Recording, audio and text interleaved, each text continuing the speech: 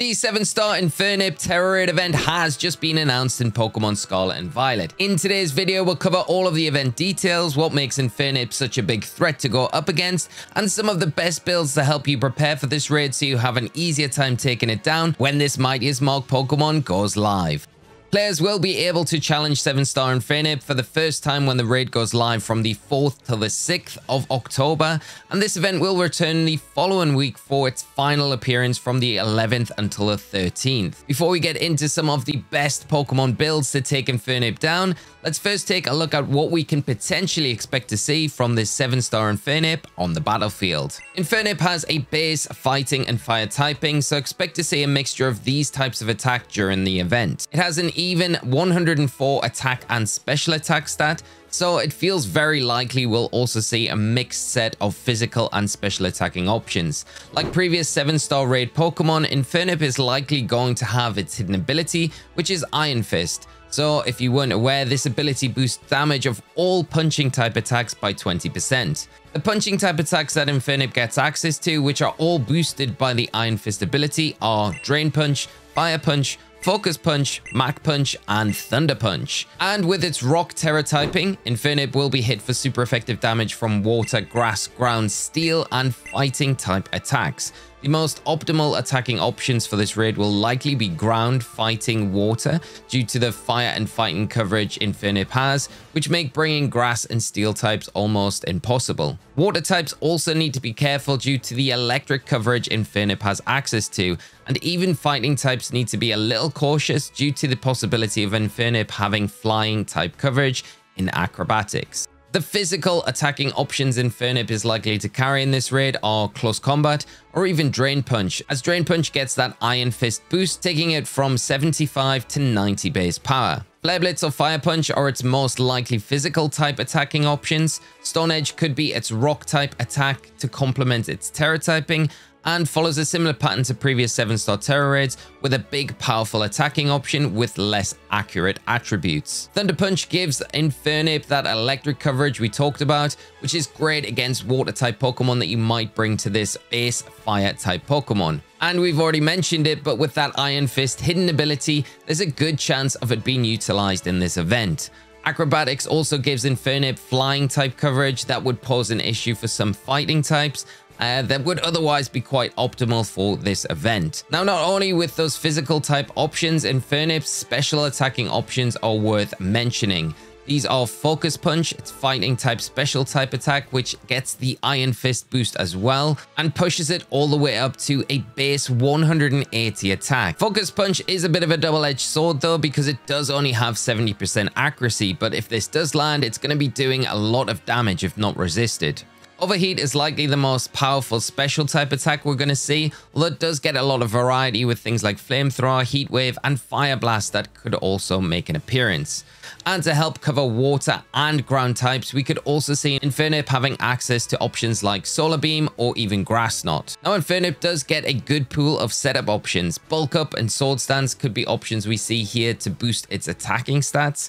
Nasty Plot gives the Infernape a nice option to boost its special attack and stat, and Sunny Day is a field effect and something that would power up fire type attacks. Take away the Solar Beam charge turn if it's got it, and increase the water type threats that could come out in this raid. I've also listed fake tears as this could be a move we could see to lower our special defense and increase the damage from attacks like overheat, focus punch, and solar beam especially if Nasty Plot is not utilized alongside something opposed to Bulk Up instead. Definitely think this raid could be a tricky one, with Infernape's good setup options, high attacking stats, and solid coverage options, as well as the raid interactions on top of this, it may be a tougher one than a lot of players are expecting.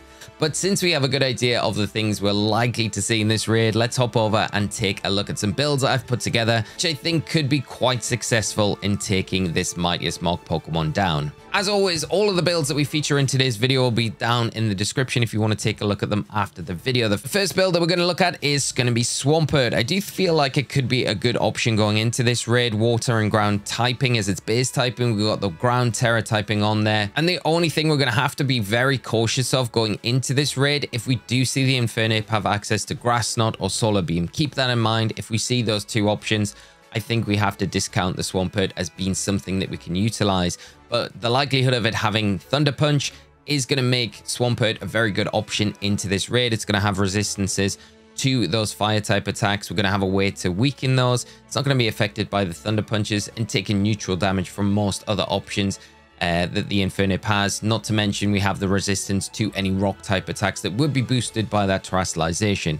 Shell Bell here is going to be the held item for a line of recovery through the raid. And of course, it goes without saying, if you watch these videos before, we do hyper train all of the IVs and level everything up to 100.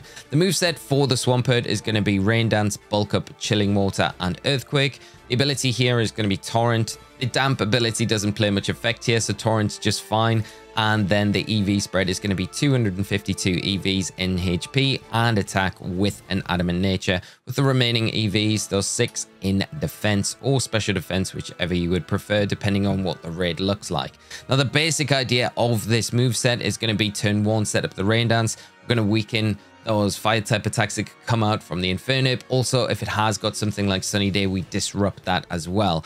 Then we're going to use a combination of bulk up to boost our attack and our defense so we take attacks better. Also meaning that our attacks are going to be doing more essentially to the Infernape. And then we've got chilling water as well, which kind of pairs up nicely giving us a way to damage the Infernape on the special side of the spectrum, but also lowering that attack stat every time we do use it, even if the shield's up powering down the Infernape, making it easier for us to function.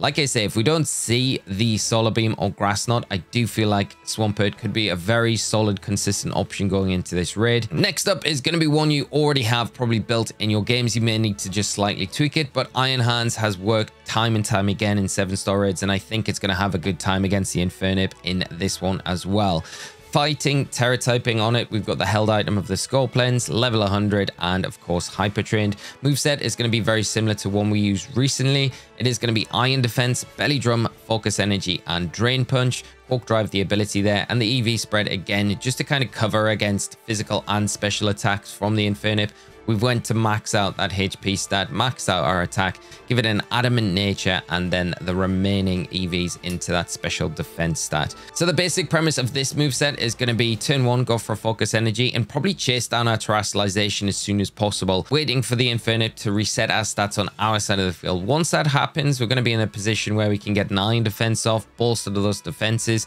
take attacks a lot better, and then when we're in a comfortable position, go for that belly drum and then spam the drain punch after we've terastallized. In theory, it works out. In theory, it should work quite well. Even if the Infernape does have acrobatics, before we terastallize, we will just hit neutral because of that part electric typing that we have. Because a lot of you already have Iron Hands in your games, probably already built for raids, this one might be one to look at initially when we go into it when the raid goes live. Next up is Garchomp. I think against the Infernape has a very good time. It is going to take neutral damage from those fighting type attacks. So that is something that we would have to kind of worry about. But we do have ways to mitigate it. We're going to have the resistance to the fire type attacks to those rock type attacks as well. So I think all in all, the Garchomp could be quite a good option going into this. Shell Bell as the held item. Tera typing is going to be ground. The move set is going to be very simple, straightforward. Breaking Swipe, Swords Dance, and then Earthquake. The ability is going to be the hidden ability here. It's going to be quite useful for that additional chip damage if the Infernape makes contact with us. And an EV spread of 252 EVs in HP and in attack with the remainder put into special defense with an adamant nature. Again, we're probably just going to start the raid by chasing down our terastallization by utilizing the breaking swipe.